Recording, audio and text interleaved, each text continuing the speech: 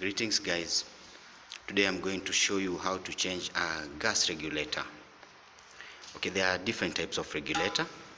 Here I have two types. So the only thing that makes it different from the other is the switch that each uses or the clip.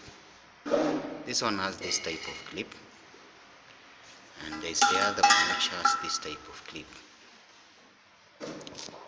So so let me show you how both of them work. Let's start with this the first one.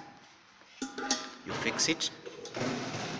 You make sure the clip is down so that it enters okay? So you bring it up to make sure that it's on.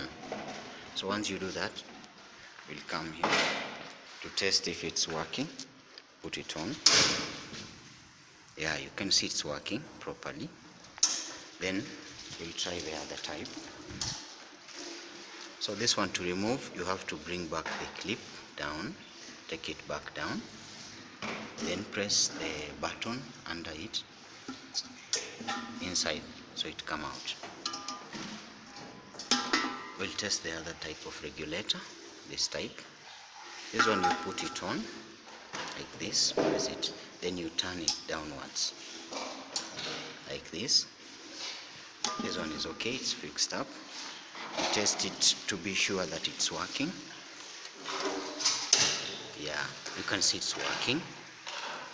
So this one is okay. Then removing it there is a switch on it. So you press the switch inside then you turn it round up then you remove it. So easy. That's it. That's how it's all is done. Thank you guys. Thank you for watching my video